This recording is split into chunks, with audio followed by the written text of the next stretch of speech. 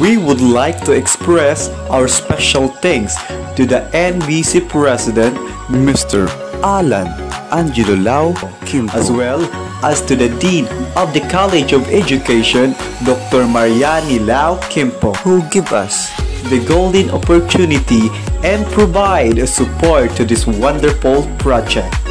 The virtual culminating activity of our student from BKED, BPED, PE, and GE 5 and 10 students and to make this activity possible despite a pandemic. Our special recognition to the production staff, selected students who does the legwork in collating and editing videos submitted by the participating students.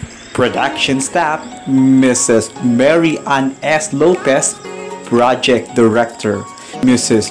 Bobby Rose Ricaforte, Unity Dance Choreographer, Mr.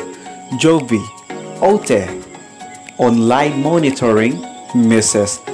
Annette Morales, Music, Mr. Jacel Benigno, Editor Documenter, together with Jerneron M. Tumbucon, Mr. Lloyd Francisco, Program Host, together with Miss Mary Rose Rapes, Miss Olive Lorraine Erenia, and also poster design by Mr. Jerick Paul Mateo.